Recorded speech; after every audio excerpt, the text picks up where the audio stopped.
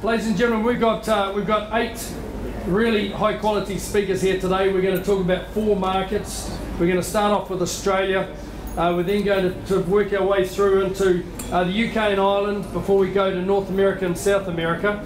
Um, and we're going to have um, uh, each of uh, NZT people giving you an overview of the market, a quick snapshot of each of these markets before we get a business perspective about you know, the opportunities, maybe some of the lessons learned, you know, when, when the businesses went into these markets and actually started to do the business. So um, it is going to be like speed dating. We're going to do five minute sessions for eight speakers, uh, and then we're going to try and provide enough time at the end of the presentations uh, for a good conversation and questions as well. Uh, so, look, the, the key thing that, that I would just like to reinforce in my role uh, as New Zealand's uh, Special Agricultural Trade Envoy is that we often talk about agri-tech from New Zealand. We often have a lower profile than many other countries in the world, like Israel, for example, that are very active promoting their wares around the world. But New Zealand has agri-tech that is world class, uh, and, and in fact, I think that there are more opportunities for us to work together in many other markets of the world. We don't have all the answers, but you can adapt our agri-tech to different situations, different scenarios, uh, in a way that, that really is of benefits to both parties. So with those opening comments, I'm going to leave us to the, the expert speakers. We're going to go to Australia. Uh, we're going to get Cathy to come up and talk about uh, the Australian market. This is often a market uh, where people go to first. There's a lot of exchange happening in Australia, between Australia and New Zealand. Cathy's going to provide an overview before we move into the business perspective. Thanks, Cathy.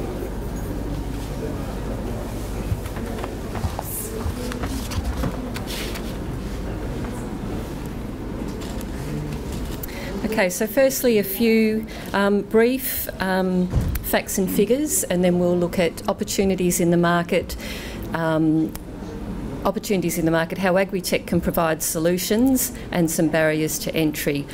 I'll then be followed by Jonathan Stubbs from Shoof, who will provide an in-market experience.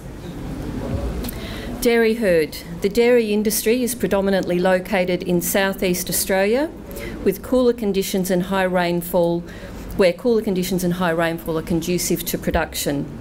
Victoria is the main producing state where 1 million dairy cows, or 64% of the national herd, is located. There are just over 6,100 dairy farm dairy farms milking 1.5 million cows in Australia. There are just over 11,700 dairy farms milking 4.9 million cows in New Zealand. Australia exports 34% of its milk and represents 6% of world dairy products traded. New Zealand is the world's largest exporter and accounts for 38% of all dairy products traded internationally. The industry has declined in Australia in both the number of participants and total production levels in recent years. However, the number of large dairy farms, dairy farm businesses is, is growing at 11% per annum. These larger businesses spend large amounts on animal feed and nutrition and employing staff. Thus, there are opportunities to help these businesses increase efficiency of their feed systems and to achieve labour efficiencies, as this is where they may be able to reduce costs and improve profitability. Beef cattle. Australia has a total herd size of 23 million cattle, significantly larger than in New Zealand, where there's a herd of 3.6 million. Beef is grown across Australia from high rainfall zones in southern Australia to the arid centre and the wet dry tropics in the north. Queensland has the largest herd with 11 million. There are two distinct industries.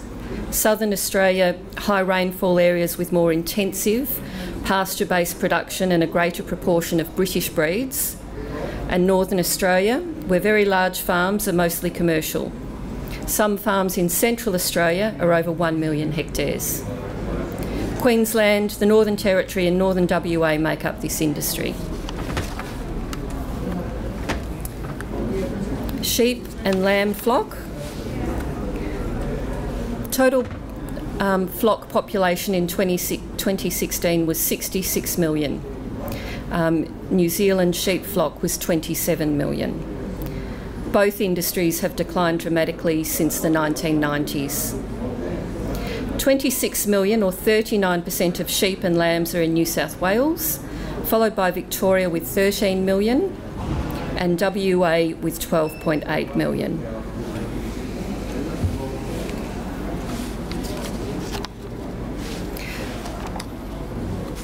In terms of opportunities for agriculture, the Australian industry cannot rest on its assumed superiority and quality and safety. There is an urgent and continuing need to improve biosecurity, product safety and quality, and ultimately industry productivity in order for the sector to remain profitable in the future. To achieve this will require coordinated efforts throughout the entire supply chain and the rapid emergence of digi digital technologies. The key challenges facing Australian farmers are competitive global markets and maintaining farm profitability. Australia has maintained productivity relative to other advanced economies, but we are losing ground to emerging major producers such as Brazil and China. We will need to innovate, do more with less, and unlock new sources of value to ensure our continued success. Agritech can help to improve on farm efficiency and decision making by um, automating routine tasks, regulations and compliance, and traceability and product assurance. Labour is one of the most significant costs for Australian farms.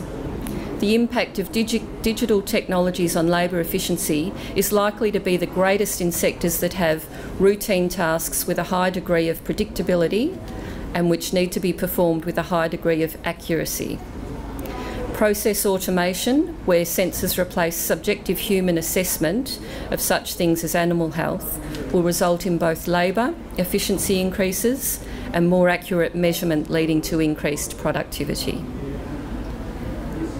regulations and compliance, one of the most common areas of labour saving will arise from the use of digital technologies for regulatory and compliance requirements. Meeting market and regulatory requirements is a major cost for many farmers. In some sectors, such as the livestock export industry, the regulatory burden has increased substantially in recent years. A common concern expressed by farmers in a range of sectors is that there is unnecessary duplication in compliance schemes and an over reliance on traditional paper based reporting. So, digital systems provide more efficient ways of meeting information and compliance requirements through automated data collection and reporting, which can reduce costs and make life easier for farmers. Traceability and assurance. Uh, digital, digital traceability and provenance systems are becoming increasingly important in maintaining and developing new high value markets and providing confidence for end users and consumers in relation to product safety and quality.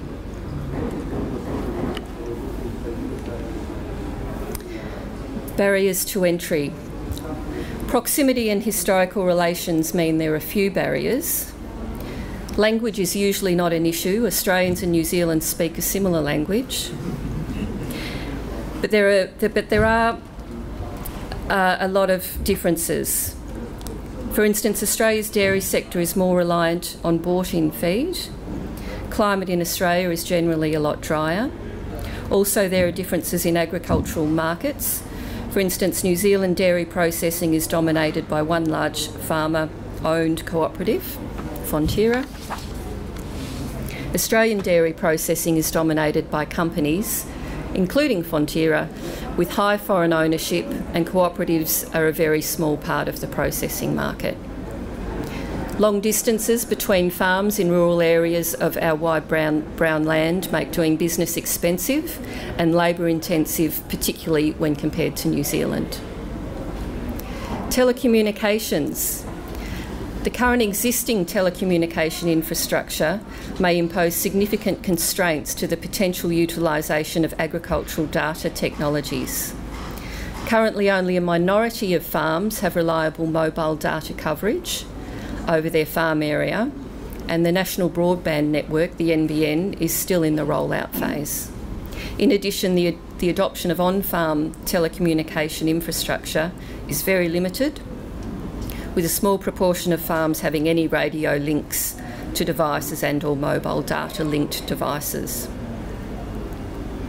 Um, data privacy. Uh, data, sorry. The collection rates of various agricultural data types are fairly low on Australian farms. Um, within the livestock industries, medication records, animal breeding data, and individual animal or herd production data were reported as the most collected ag agricultural data, yet they were only collected by 63, 57, and 56% of respondents, respectively.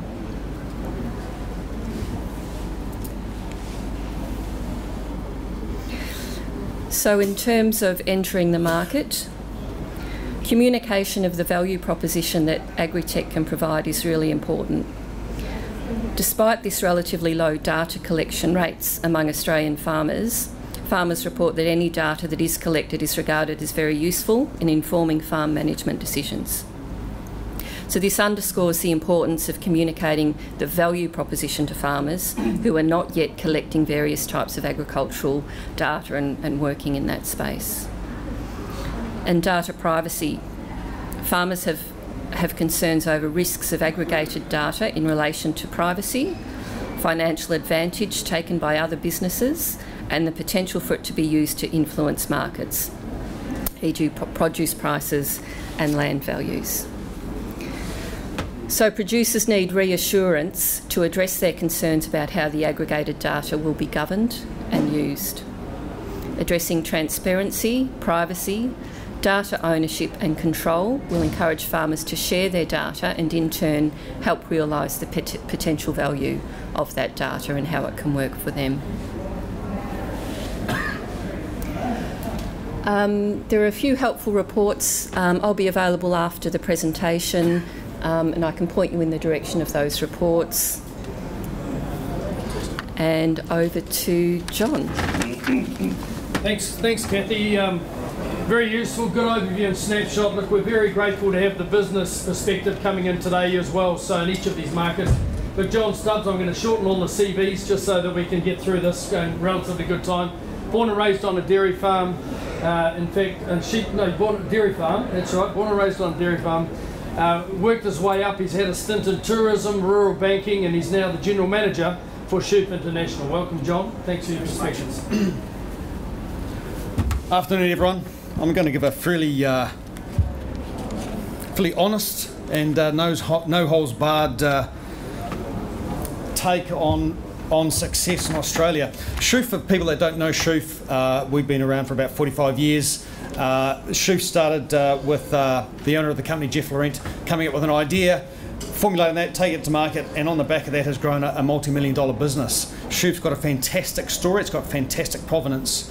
We've been in Australia uh, prior to me taking it over about 12 years. We came to Australia through acquisition, so we bought a couple of companies, bolted them together, and Shoof Australia was about to be born. So about uh, four and a half years ago, I had the opportunity to take Australia under my wing.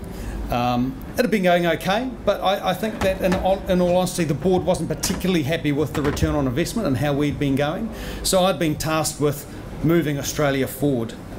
So, in terms of, of what we do, we've got a range of agricultural ancillary on farm products. We've got about two and a half thousand SKUs on offer.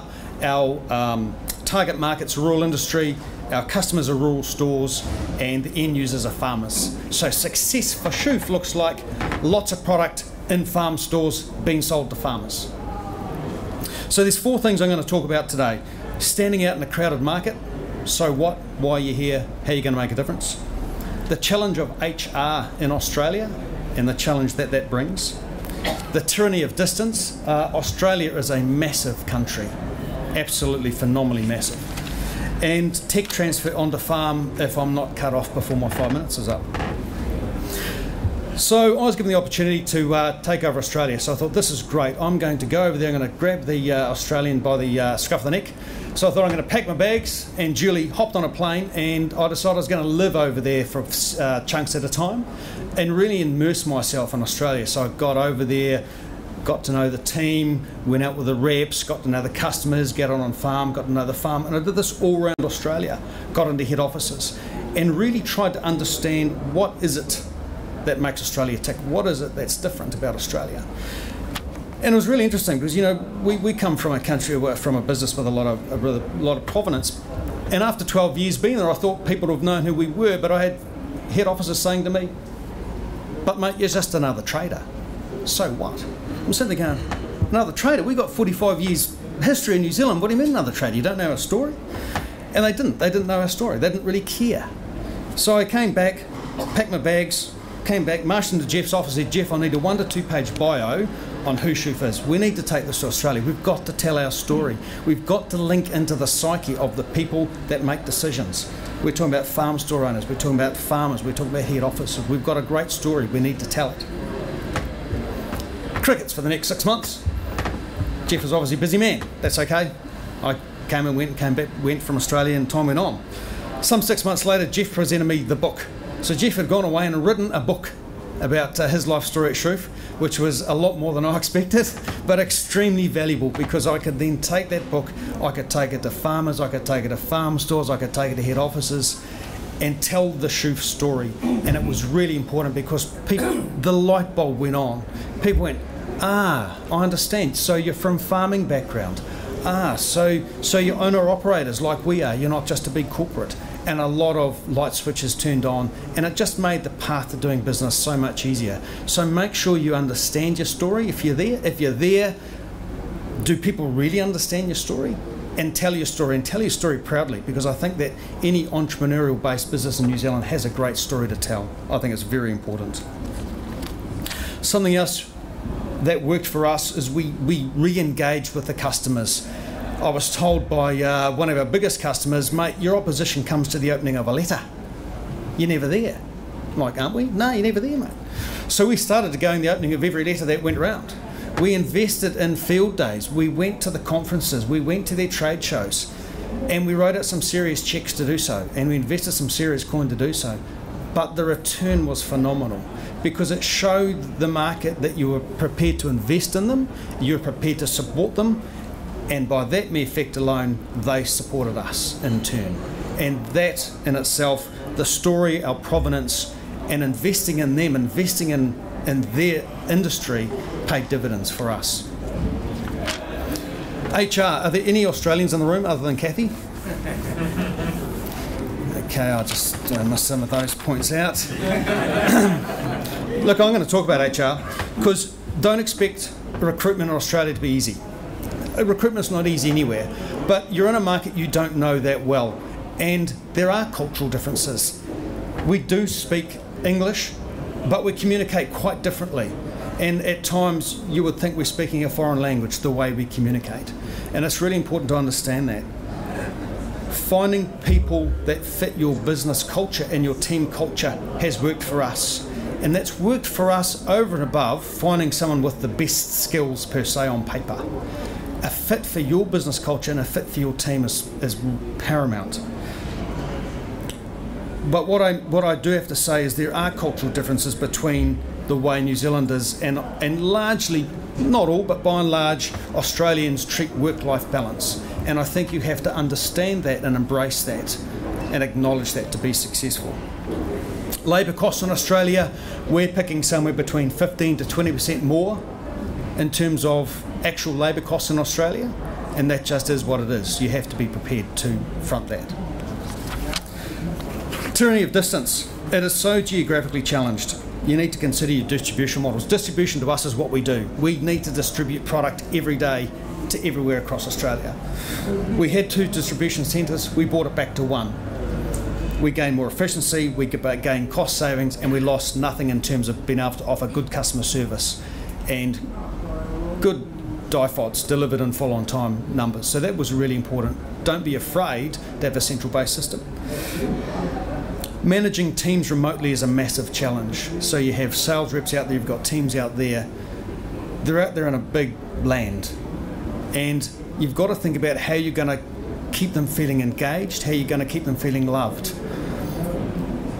What we've worked towards is providing support in the in the base office so our senior managers can get out there and spend time with them. Nothing like getting your managers out of their offices and into the cars or into wherever, wherever your staff may be to show them you care. If you're just sitting in your office and you're only picking up the phone, that only goes so far from, from our experience. You've really got to get out there. So you have to provide support so your managers can get out there. Don't be afraid either, I think, to pick a state. So if you're in the dairy industry, obviously Victoria, Tasmania is an obvious place to start. And take small bites of the elephant. Don't be afraid to, to, to, to start your business in a state or a couple of states. Try some pilot schemes, and if they work, expand to the next most likely geographical areas. You know, you don't have to take Australia on all in one fell swoop because it can be daunting, it can be challenging, and it could run you aground. So working, and, and we've done it with some of our product ranges. We've said, hey, let's just start in one state. Let's see if it works. If it works, let's expand it. It's worked for us. It may work for other people out there as well. Uh, finally, tech transfer on farm. You know, in New Zealand, we're extremely lucky to have um, real accessibility to direct to the farmers and to, to the farm stores and have that science extension linked so well. So if we need to tell our story, if we need to launch a new product, if we want to talk about a new innovation, we've got farm store publications, we've got widely available rural press options, we've got um, great science extension with the likes of Dairy New Zealand. We can tap into those. Australia is a little more challenged in that area. The infrastructure isn't quite so tight. The extension on farm isn't quite so good, and the access to media is a lot more expensive. And there's no one one go-to magazine or paper you can go to to reach what we can reach in New Zealand. So you need to think about how are you going to reach your target market. Really important. Cost some money.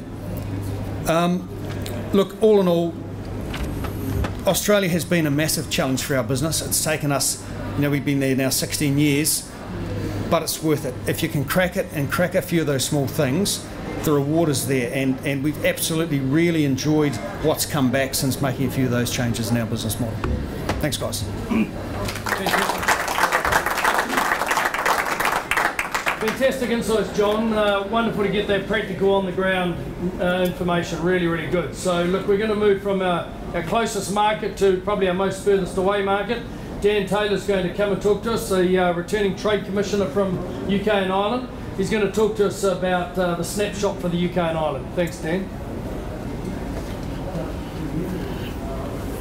Great, thanks, Mike. Good afternoon, everybody. Uh, given we've only got five minutes to cover the UK and Ireland, it's going to necessarily be a pretty high level overview. Um, I'm not going to, to use any slides, but I'm more than happy to um, talk in a bit more detail later. We've got UK and Ireland on, uh, on the screen here, and uh, I think it's an important point to note, um, first off, that while there's a lot of similarities in those markets, they are quite different propositions, and it's really important that if you're thinking about entering or growing, that you think think about them as their own markets. Don't lump Ireland in with the UK, um, mainly because it pisses off the Irish.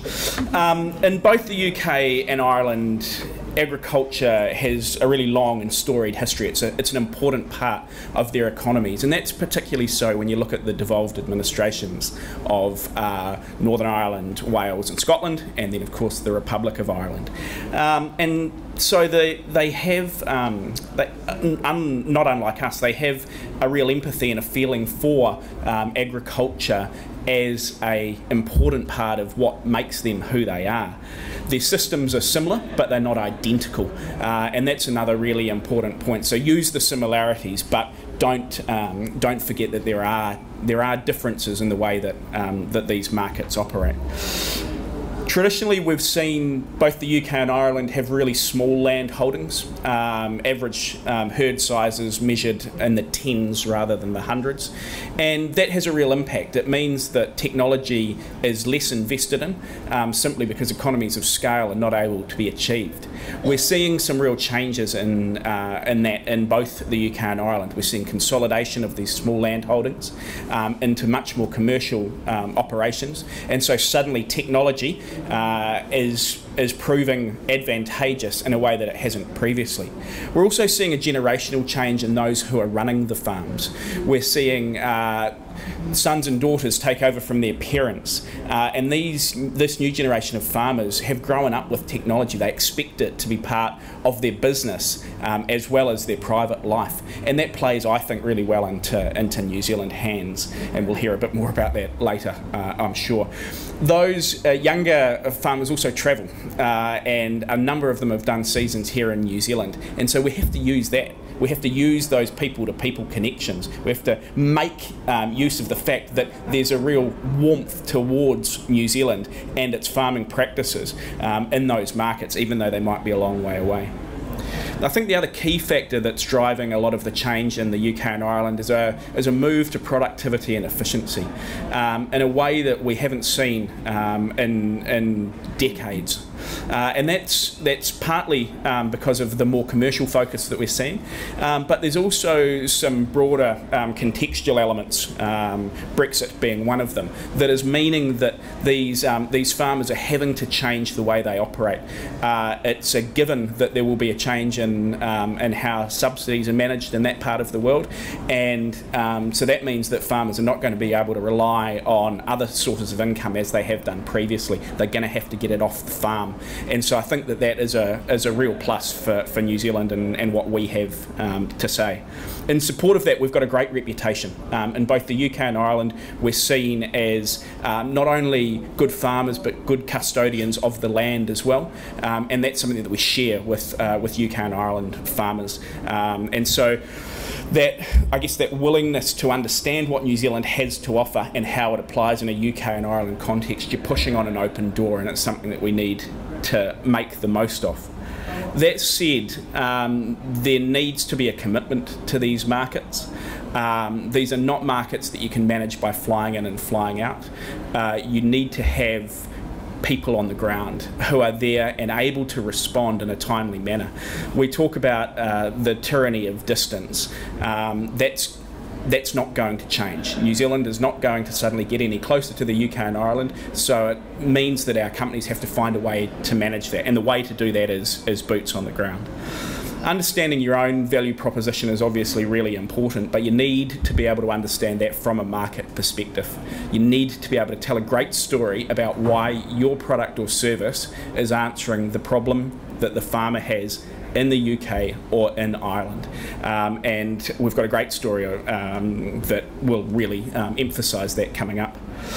Uh, in closing, I'd just say that these are these are really important markets for New Zealand. They're markets where we've got a long history um, of providing quality. Uh, the keys really are, and they haven't changed um, since that first boatload of uh, of frozen beef went over 100 years ago. You need to plan, then you then need to execute, and that'll lead to success. Thanks.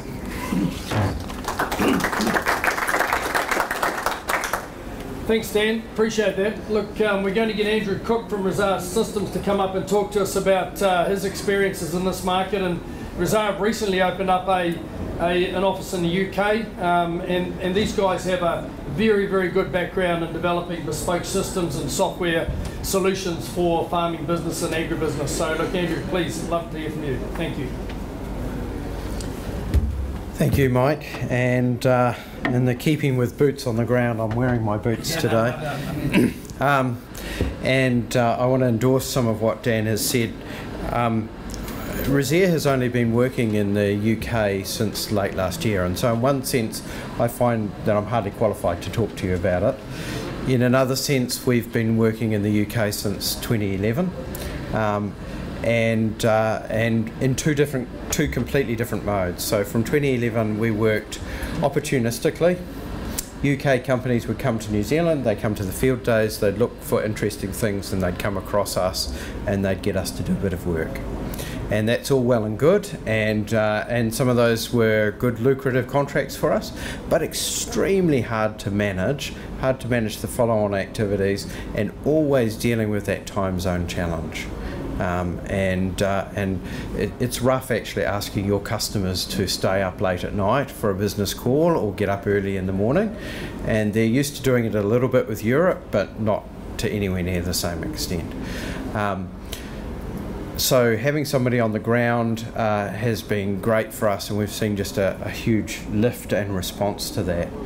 Uh, the other thing I think I'd say is um, in terms of where the UK market is at, and we didn't talk about telecommunications and those sorts of things, Dan, but um, uh, you know, we have benefited from benefited from that investment in infrastructure, even though we complain about it in the rural space in New Zealand. Uh, you get a little way off the beaten track in particularly Scotland or Wales, and you're looking at no bars, no coverage, no Wi-Fi, and an incredibly slow home connection, and it's what they're used to. Um, uh, but things are changing and they're changing rapidly, and the UK government, through a number of means, is making huge investments in technology, huge investments in infrastructure, and huge investments now in agricultural technology and looking at how they can lift the efficiency and productivity of the UK farming. And, and, and Dan's right, Brexit is going to drive that at an incredible rate, um, and we're going to see some big changes when we started to work in the UK, we were warned that um, Europe sees New Zealand as a low cost producer, not as a technology base. And so, and I know that some New Zealand companies who are trying to sell products in that market have definitely found that to be a challenge, that we're not recognised brands over there. For us, we're working in the services space, and, uh, and it is in some ways quite different. Uh, our customers are businesses who are themselves developing products to to promote, or maybe they're trying to create new services to help farmers be more efficient or more effective. And New Zealand's legendary efficiency is actually a real string in our bow. It's, it's what people like. Uh, and so uh, we've found uh, very open arms. We also have an Australian subsidiary and one of the big differences we've noted is here in New Zealand, most people, if they don't know you, will know somebody you know. Yeah, it's our two degrees. In Australia, they'll hang the phone up on you. Don't need to talk to you, click. Even if later on they realise actually we did need to talk to you, but we didn't realise it at the time. Um, my experience so far in the UK is look, everyone's incredibly happy. Let's have a cup of tea and sit down and have a chat. And it can be very hard to distinguish what's a real lead, a real opportunity, and what's not. And we're looking at how we can better understand that at the moment. Um, logistics is a challenge. Yeah. Uh, the ag industry is very fractured in the UK. Apart from the, the major supermarkets, everyone's a small player.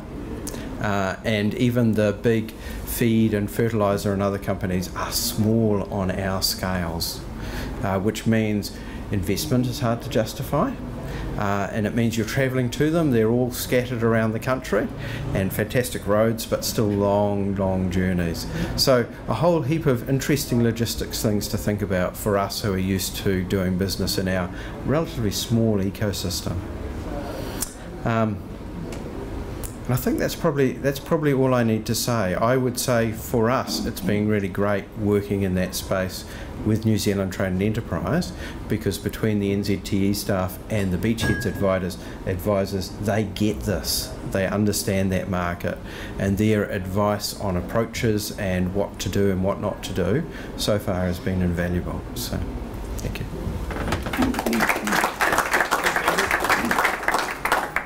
Well done, Andrew. Thank you very much, and uh, for those insights, very valuable indeed. And we'll come back to questions later on. Uh, across the Atlantic now, we're going to get Paul to come up, Paul Vaughan to come up and talk about North America. Uh, Paul's a regional manager here, but um, but he knows everything about the world, so that's great, Paul. so, How does this little buzzer work? Is it that way? There we right. So I'm just going to use a whole lot of slides to give you a picture and a story of North American dairy. I'll try and rattle through them in five minutes. So this is where it all started in the States, the dairy belt.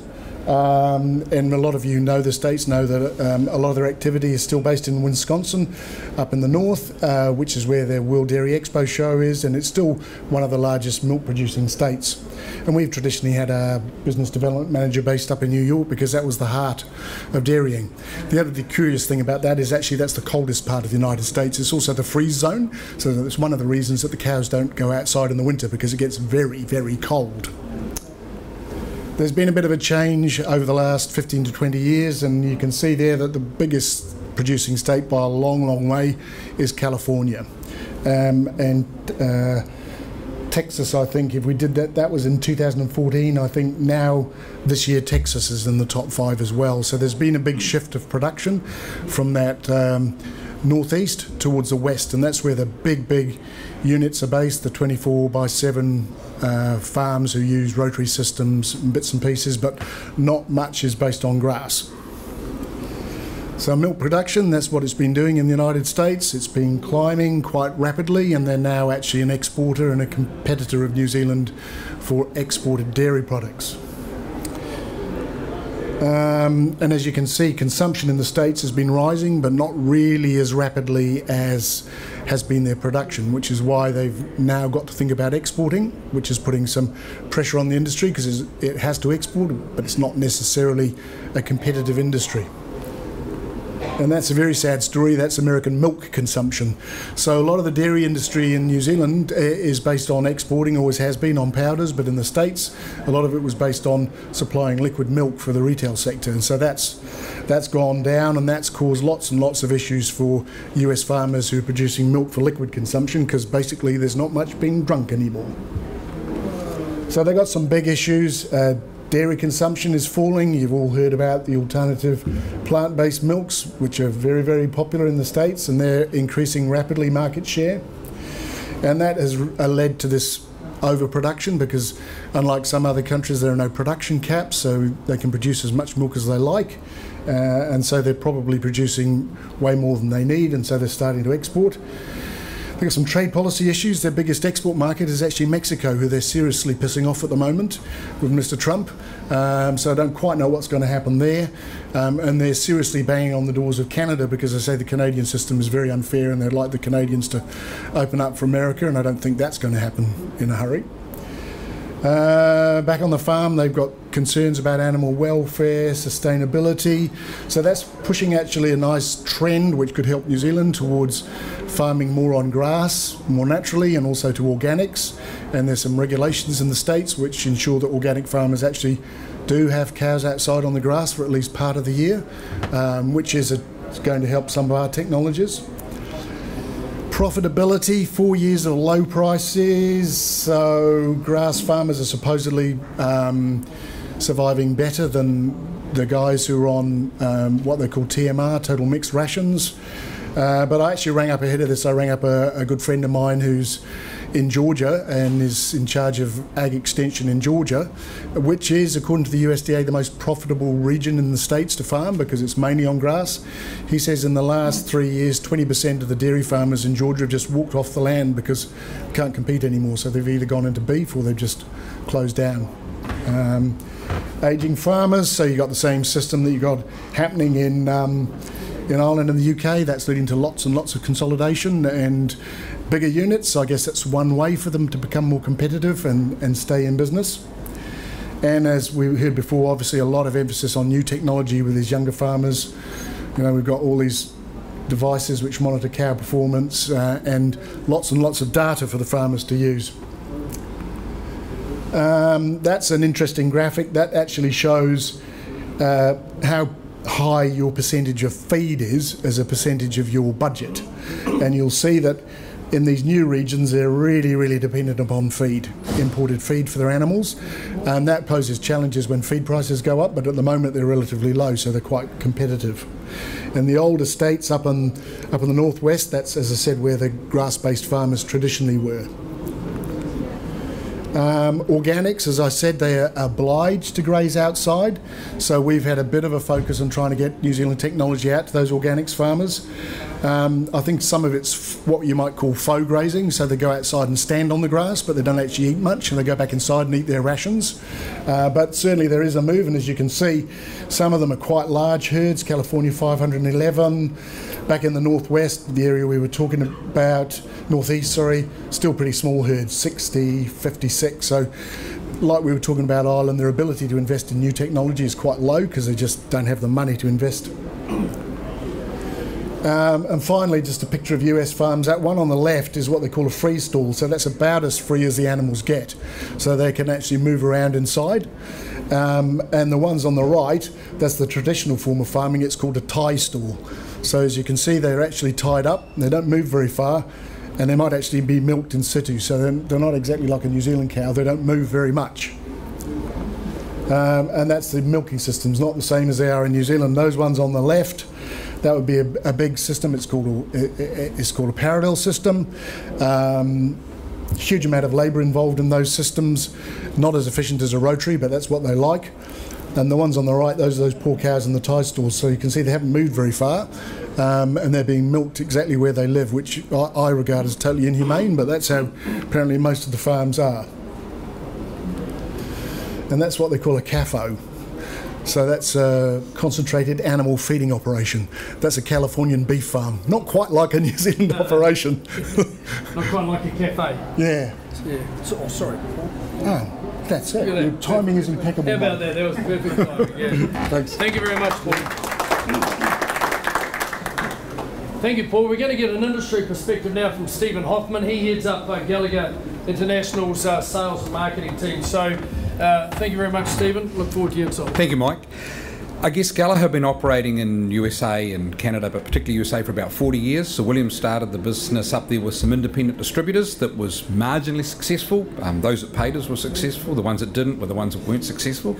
So about 25 years ago, we formed a joint, joint venture company up there with a partner, and uh, we were a minority shareholder, and that was kind of the start of the success of the business. Uh, they created a brand awareness for us in the rural industry, and then uh, about eight years ago, 2010, we uh, bought out our partner and it became a fully owned subsidiary which um, I'm now responsible for. Getting involved, so and I've been travelling up there personally for uh, around 25 years. I currently go up uh, four or five, maybe six times a year because, as already been pointed out, same as some of the other markets, uh, immersion is important. I don't want to live up there full time, but you sure as heck can't run a business in North America from a Pacific island somewhere down in the bottom of the world that the American, average American doesn't care about. The other thing I found is if you think about USA as one market, you're likely to get distracted and not be successful. USA is not dissimilar to Europe. It's lots of little um, states in their instance, and they are quite different. Their language is often different, their socio-economic um, positions are different, their religions are different, their language, although it's based on English, I can't understand a word my staff out of uh, the, some of the southern states say. So it's quite quite different, and I think that's really important. So um, if you move up there, it's, it, it, you, you need to think about where you want to go, and I think it's already been said by somebody else. It's about um, bite by bite, just handling it as one big um, market. Really, uh, you're going to struggle with that. The other thing to remember is that a farmer in USA grows crops. You know, you can any way you like. That's what a, if you're in a, if you're talking to some American people about a farmer, they grow corn and all the other crops that go with it. Um, livestock farming is quite different. Animals, uh, from our perspective, they, they they're born, they stand on the grass until there's a spot for them in the feedlot, and they go to those feedlots that, um, that you so rightly pointed out, Paul. So, from our perspective, from a Gallagher perspective, ours is about a pastoral farming solution. So, um, we've had to figure out how to do that. In markets like New Zealand and Australia, we have the privilege of having some really good resellers. We know them as the Farmlands, the PGG Wrightsons, the Farm Sources, and they focus on supplying the needs for those grassland farmers.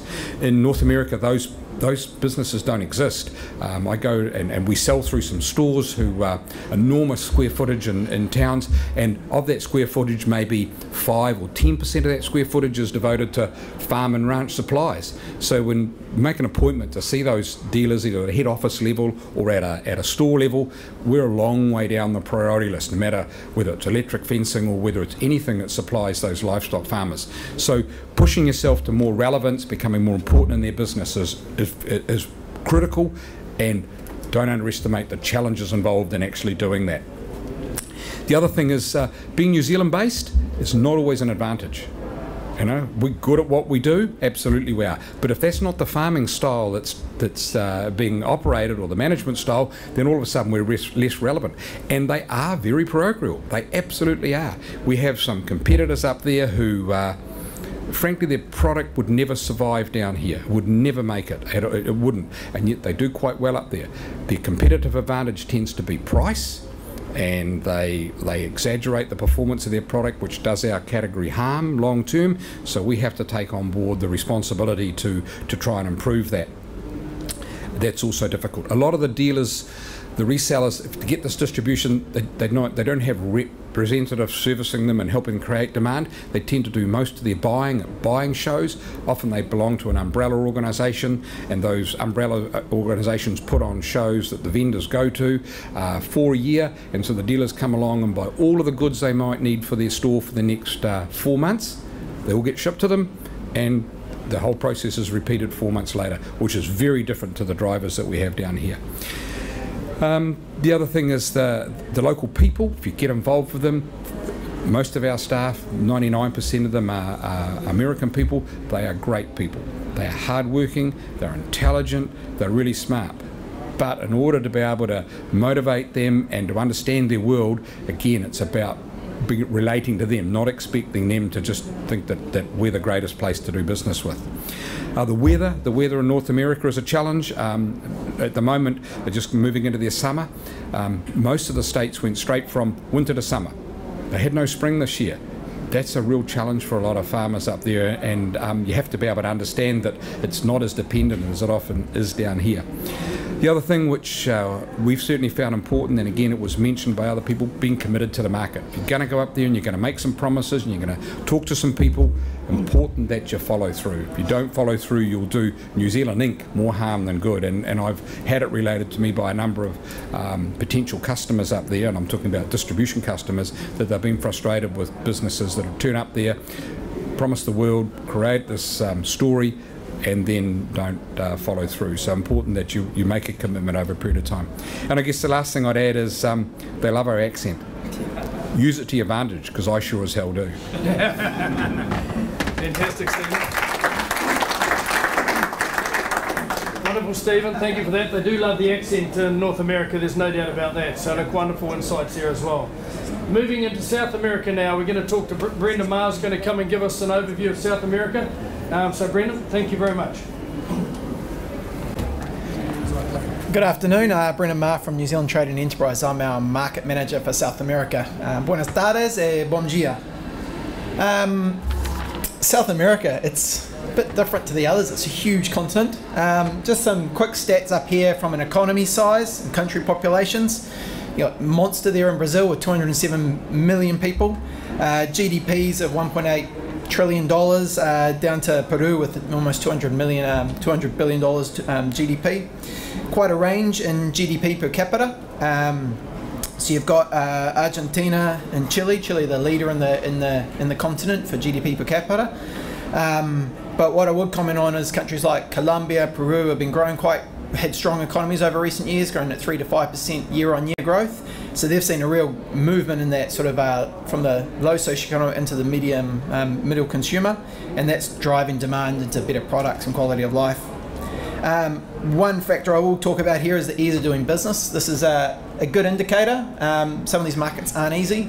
Uh, just commenting, Brazil is a big one, but ease of doing business, 125 in the world, it can be quite difficult, and that's one of the challenges you'll face. Whilst uh, countries like Chile, Colombia, Peru are really trying to increase their regulatory and, and country environment for making it a bit easier to do business. Um, just stepping across the continents, uh, the continent here, Argent, uh, the whole of South America is what you call a big food bowl. It's a huge agriculture is a huge part of their economies. be it coffee, be it soybean, be it uh, maize, um, beef production. Milk, milk's big in some of the countries further down south in Argentina, Chile, Uruguay, um, and the south of Brazil. Um, but across the agri scope, there's um, there's just a lot of opportunities if your product isn't just focused on dairy. You, you, know, there's some big industries there as well. So you're looking at, you know, three, three and a half to 21 percent of their, their GDP is based on agriculture businesses. Um, so it's it's it's just it's just monstrous the size and the numbers um, and the land scale there as well.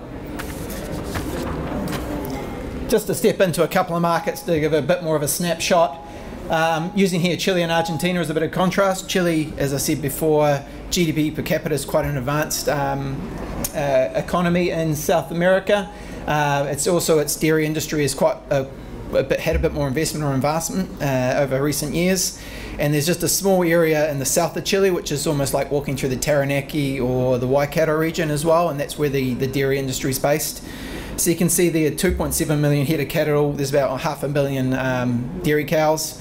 Um, you know, not a huge production, litres of milk production, 2.5 billion litres uh, milk produced in 2016. Um, farm sizes, you're getting a bit more of those uh, more intensive farms, 100 head more or more, around 76% of the industry. Uh, and it's a bit more focused, the industry, you know, it's a bit like the, the distances aren't as huge as some of the other countries. Whilst on the other hand, looking at contrasting to Argentina here, uh, 52 million head of cattle and only 1.7 million in the dairy industry, so the beef industry is huge.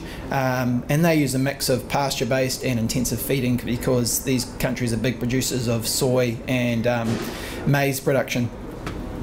Um, big milk production there, 9.9 billion litres of milk. Um, and you, again, you've got that 82% um, of farms with 100 head of, of cows as well. Um, one of the countries that I don't have here is Colombia. They're at a, a, a, different stage. You'll probably see in their percentage of farms, it's, it's in the smaller size and that sort of 1 to 50 animals per farm. But you seem to see countries like that consolidating and farms growing a little bit more. So the scale of these industries is sort of sort of changing and developing.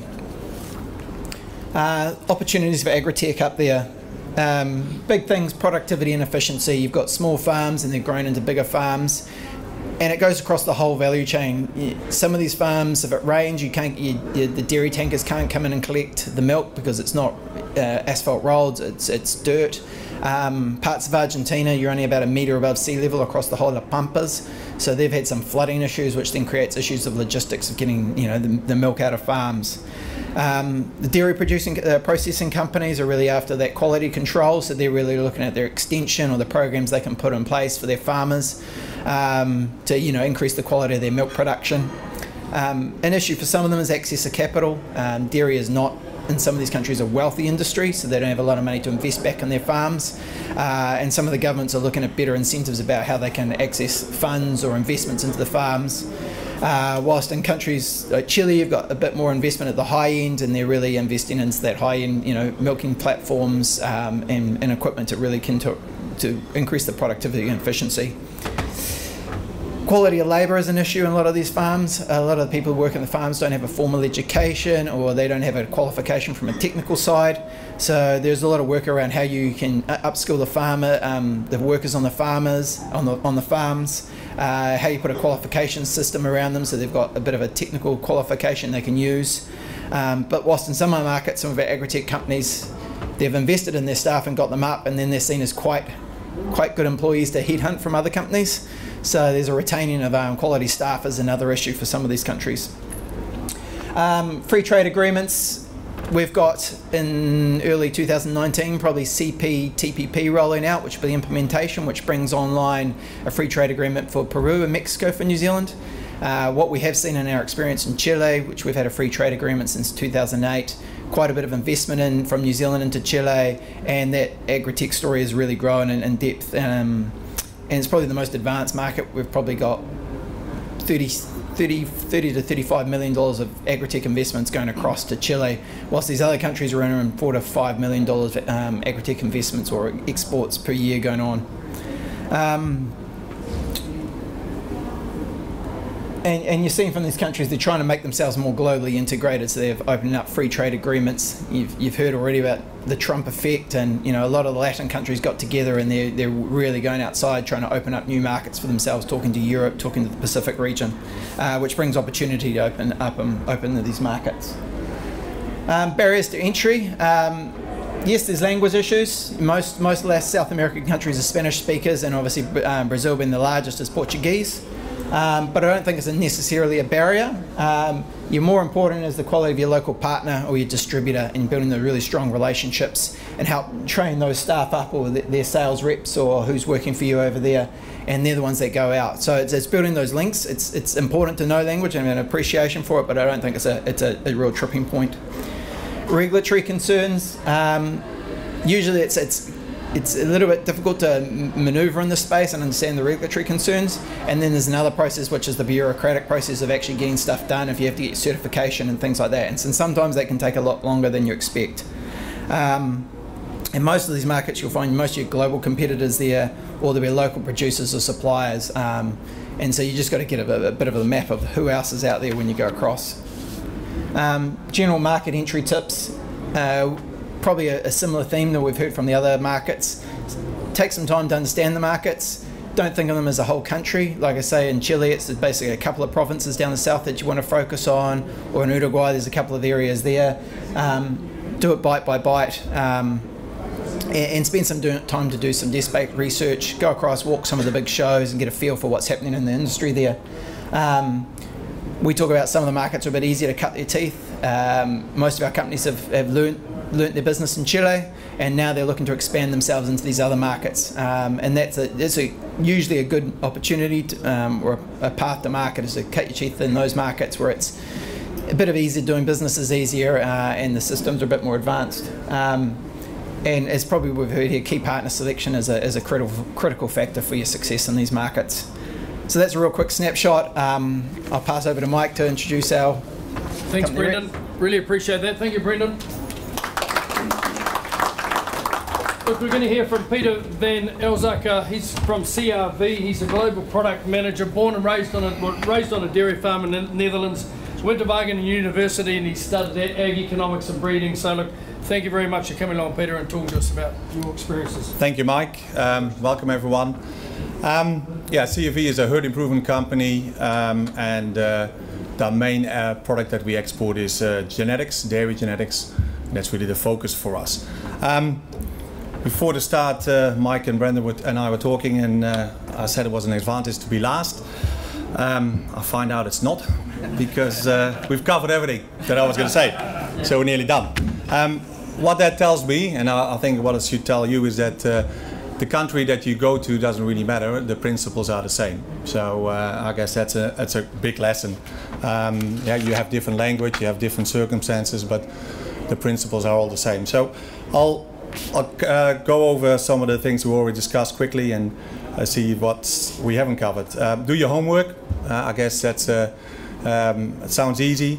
We tell our kids they have to do that, and they still don't do it. So, and I'd say there's be many companies that make the same mistake. Um, we, we work closely with NZTE, and, um, and uh, that's been mentioned before too. They're really valuable, add value for us. Um, and uh, one of the one of their projects and uh, one of the ways they help is uh, through Better by Design, um, and uh, we we did a design sprint in Chile, for instance, um, and that was really really useful for us. We uh, we did it after I'd been involved in the market for at least three years, and um, we were very uh, we were amazed by how much we learned from from that experience, and I guess it tells us that you, you have to listen to customers um, and you have to uh, really delve into that, uh, into that customer, find out what their needs are. And, and what you then uh, find is that um, in your home country, here in New Zealand, we, we, we see benefits for our products and uh, we, we can rank the benefits and you can assume that those benefits are the same or are, you can order them in the same way overseas. But what we found in Chile is that that's not the case. And uh, that's why you have to do your homework um, and you have to do that in every market. So that, that's important. And uh, um, some of those changes uh, have to do with culture. And you have to just accept the culture. Um, It's, uh, it can be extremely frustrating, um, but the culture is the culture and you have to work with it. Um, if you try to work against it, uh, you know the outcome. Networks, they've been also mentioned, um, very important and it is important to immerse yourself in the marketplace. Um, I've been involved with the South American market now for six years. Um, I, I live here. Um, I don't speak the, the language, uh, but we, we needed to be there. And over the last six years, we've actually put more resource into the market there. We have uh, two people now based in the market. Uh, one's in Brazil, one's in Santiago. Uh, they both speak the language and they are both there on a continuous basic basis dealing with the various countries. And um, well, by doing that, we've seen we've seen the advantages and we see our uh, uh, our sales grow. Um, you have to have patience. It's it's not instant, uh, and um, and and that's where uh, that's culture. Um, when you look at our products, um, when I look at the benefits, um, South America, most cows are outside and their own grass or something that looks like grass, and therefore our grazing genetics have a benefit. The culture and what people have been uh, been trained uh, over the last 15, 20 years is is very much uh, looking and listening to North America, and and that you don't change that overnight. Uh, that takes a lot of time, and um, and well, yeah, sometimes it can take a generation, and we don't have that much time, but that's just where patience comes in. Listen, listen, listen. That's a big one. Um, do a lot more listening than talking. Uh, I've been blessed with two big ears, so I've got an advantage. Um, but it is, it's, it's key. Yeah? You've got two ears, one mouth, and use them in that order. Um, the language bit has been uh, talked about, and, and again, I can't reiterate enough uh, that it's very important to, to speak the same language. And I don't speak Spanish fluently. Um, when, I, when I went to Chile, I found out that German helps. And I've, I've been in meetings where we speak English, German, and Spanish, and it works. But even if you think you're speaking the same language, um, sometimes you're not. And um, I have contact with uh, my colleagues here, have contact with uh, colleagues in Holland, and we, we we call their English Dinglish because Dutch English is very different from English or New Zealand English. So you can't re, uh, I can't iterate that enough.